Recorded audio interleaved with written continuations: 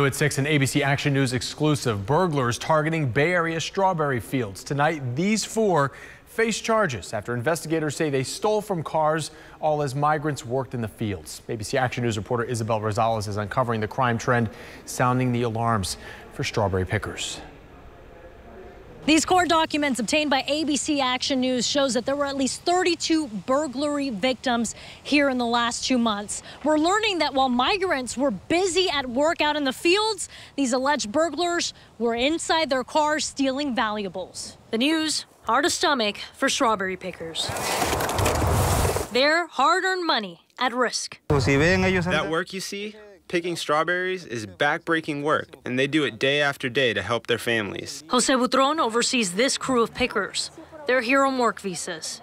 Just last month, his boss alerted him someone was breaking into cars and robbing migrants, all as they work the fields. That hurts. It really hurts because they work from sunrise to sunset. These court documents show suspects kept entering unlocked work buses, stealing cash, phones, and credit cards.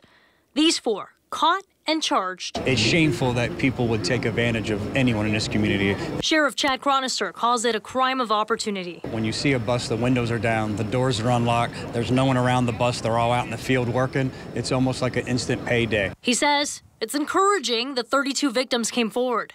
He points to HCSO's campaigning, letting Latinos know a victim is a victim, no matter the immigration status. Butron says He's since added this lock to their bus. It's upsetting because who knows what these victims needed the money for, if they needed it in Mexico for medicine, diapers. As an added security measure, his employer pays these workers on debit cards not cash. And the good news here from HCSO is they don't believe there's any other victims associated with this case, but they do hope that should this happen again, no one will fear calling 911.